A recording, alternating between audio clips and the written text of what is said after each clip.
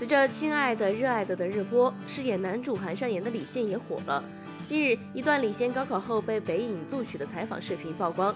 视频中当时十九岁的李现帅气十足阳光开朗容貌和现在没有什么区别只是多了一些青涩稚嫩。他展示了吹萨克斯弹吉他等才艺。